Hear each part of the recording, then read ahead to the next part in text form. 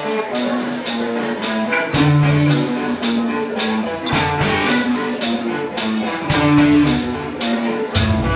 this pink ribbon off my eyes.